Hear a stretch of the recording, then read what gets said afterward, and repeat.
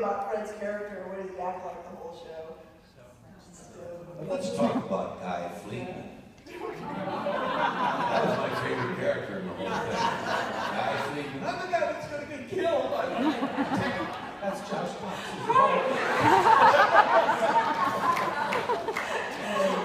In, in another universe, he'd be a red shirt. Sam Rockwell. so good. I don't have a name. What's my name?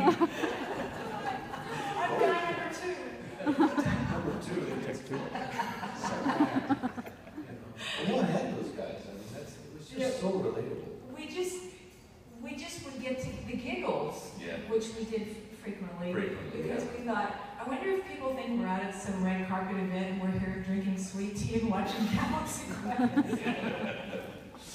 You guys have like parts when you're watching it? You're like, no, no, no, I get to do Gwen's parts, you guys hush. Um, yeah, because this is the only thing I get to do.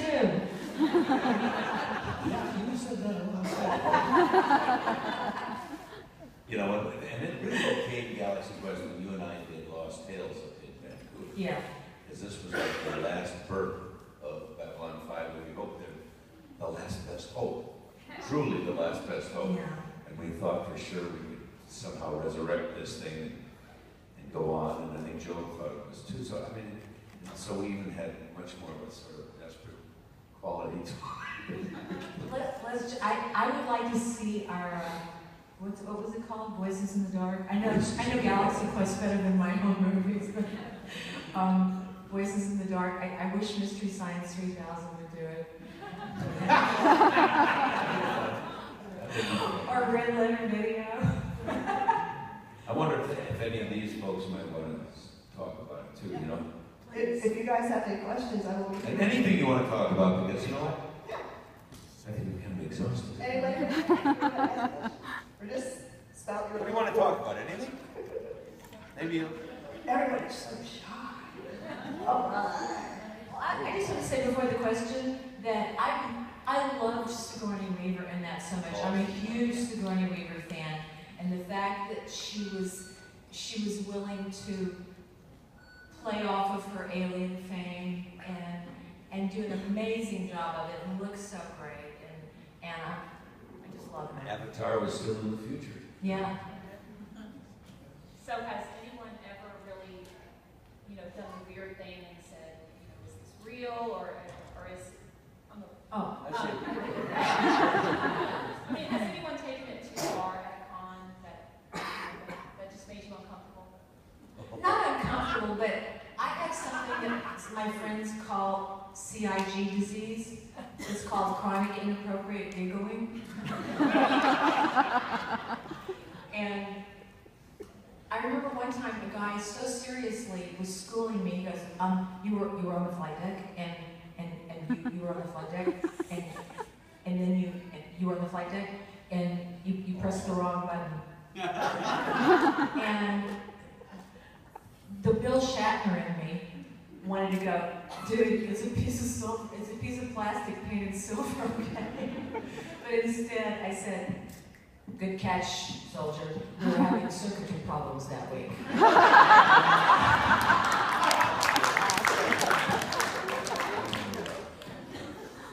Well, I don't, I don't know. I think uh, well, I've been grabbed a couple of times in inappropriate places. Say that like it's a bad thing. No, yeah.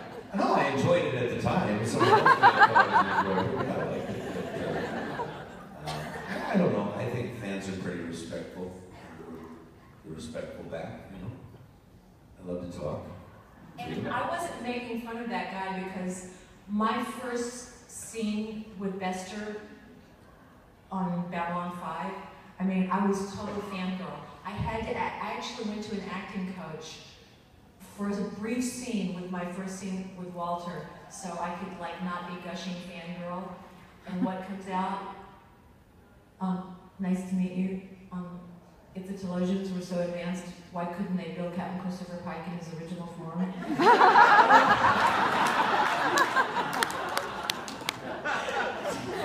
and he goes, security? he thought he was getting pumped. That I was just like some stripper they brought in. Spoil what I've done, you know. wish Jerry would have come. Yeah. Is this being filmed? Taped? We should all yell, Jerry, we wish you were here, because Okay. we would have had a ball. First of all, there'd have been a tall, But we probably bottle of say Maker's Mark Jerry. whiskey here. Jerry, we wish. You No. No, maybe we don't wish it. I don't know. I don't. No, we do, we Do do. we do. Let's all say, Jerry, we wish you were here on three. Old cheerleader, can't help it. One, two, three. Jerry, we wish you were here. Butthole.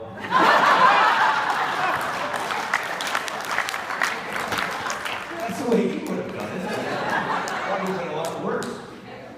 No, you know, he and I used to do these, these panels, and he'd bring out two glasses and a bottle of whiskey, drink half the It's bottle. like the Ron White of the sci-fi world. It's, it's true. It's true. But anyway.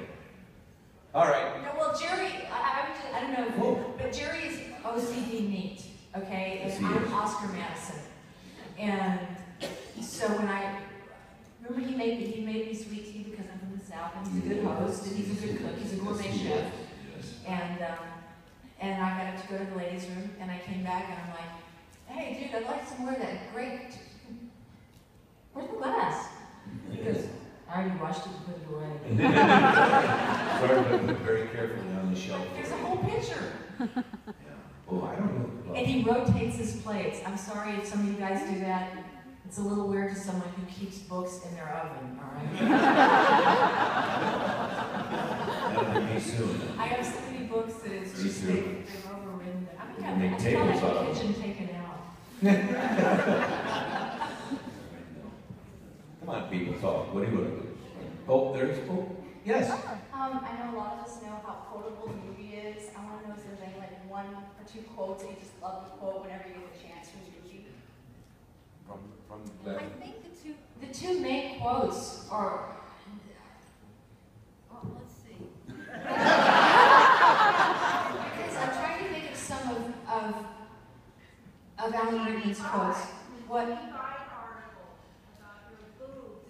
fit in the uniform. yeah, well, she had a, a costume person put those chicken breasts in there. I was in the bathroom with paper towels. No, that was the line from the movie. Oh, oh, I'm sorry. I, I thought you were criticizing my personal appearance.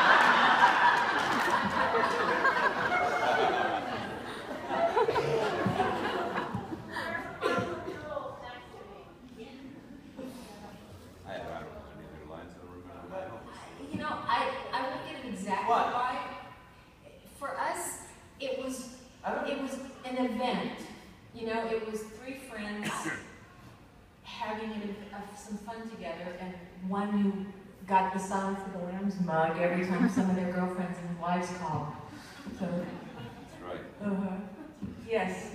Um, you had mentioned meeting Walter and how you sort of went fangirl. Bruce, have you had any experiences like that? I went Fangirl? Guilt and all. I don't, know. Um, not necessarily in the Sci-fi world, but,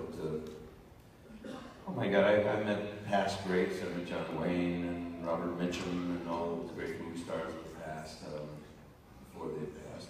Um, you know, sitting talking with Bill, uh, I mean, everybody rags on Bill Shatner. I get along with him great. I love William Shatner, and if it wasn't for William Shatner, in many ways we wouldn't be sitting here because Star Trek wouldn't have done this. Conventions would have never happened because they were the first conventions. And uh, he was the space captain. Other than uh, Buck Rogers in the other room, um, those guys for television were the guys that my characters came from. You know, so and Shatner is uh, he's such an eccentric, but he's a very witty man. You know, I had this Lantern City project. He wanted to hear all about. it. We were in uh, New York Comic Con a few months ago, and he was sitting back. He would go out and sign for uh, half an hour, and then he'd come back and sit for 20 minutes and rest. You know, he's not a young guy anymore. He needed to kind of rest. And he had long lines, and we have this book, Lantern City, uh, called Rise. I'm doing sort of a shameless plug, here, but Anyway, it's a prequel. It's out on Amazon. Am I Amazon. supposed to look surprised? No, no. And uh, by the way, the audiobook has just been released on Amazon as well. Uh, so, so anyway, I've got some great pictures. We had a copy sitting backstage, and Bill would come and he'd, go, "Oh, what is this?" You know. I said, "Well, Bill, this is this is a project. Look at my producers here, and they're kind of talking about this here in New York this year." And um, Anyway, he got to reading it, and pretty soon that's all he was doing, he was sitting back reading on all of his breaks. He, he loved it, and um, uh, a lot of guys wouldn't do that. And he had some comments on it. He wanted to hear all about it. Um, I actually, he and I actually had a project together one time that we um, hawked around town. Uh, it was he was going to executive produce it. I was going to star in it. It was a science fiction space saga, and uh, it got nowhere. It was a great idea, and uh, I think that people only took the meetings because they wanted to meet William Shatner. Well, I, They didn't want I've the worked twice with William. Shatner. Huh? I've worked twice with William Shatner, and, um, he was our team captain. I don't know if any of you are old enough to remember Battle of the Network Stars. Oh, yeah. Well, 1982. And I, if you know, eighty-four. Okay. Um, I don't know how much you guys know about my past, but I come, I was a platform and springboard diver and, um, was in the Olympic trials for nineteen eighty. And, and I did a lot of sports. I mean, I, I grew up on the bio, so I, I was constantly rowing. I was, I swam on a team for eleven years. Cut to, okay, Bill Shatner. We thought we were going there for a fun weekend of happy competition and camaraderie. And Bill Shatner, I, on the day three, they had to put at least, let me see this. Every woman had to be in at least two events or she didn't get the full pay. So I went over to Bill Shatner and I said, um, Mr. Shatner, Captain, Bill, um, you probably don't know this, and I, you know, I'm, I'm sure nobody told you, or you would have done something already, but you probably don't know this, but unless you put other girls besides me in every event, they won't get the full pay. And his answer was, I know, now, ask me if I give a shit. Get out there and win. He's Canadian, so he doesn't know American football, and I'm like, I'm old school. cheerleaders never die, we just go to Hollywood. And, um, and he, we were losing the football game against NBC, and he comes over to me screaming like chicken little, and he goes, do something, do something, how can we win this? And I said, well, there are two options. I can maim one of my colleagues, or I can draw a bogus foul. And he goes, I don't to know what that is, but do it. And so I drew a bogus foul on Teri Copley. Remember her? Oh, I remember. Oh, Teri. yeah. And uh, I mean, it was just such bad sportsmanship. And he, and he, he just gave me the biggest hug for being a bad But there wasn't sportsmanship involved in those games. Oh my sport. gosh. We played, you, did you lose to NBC two in football?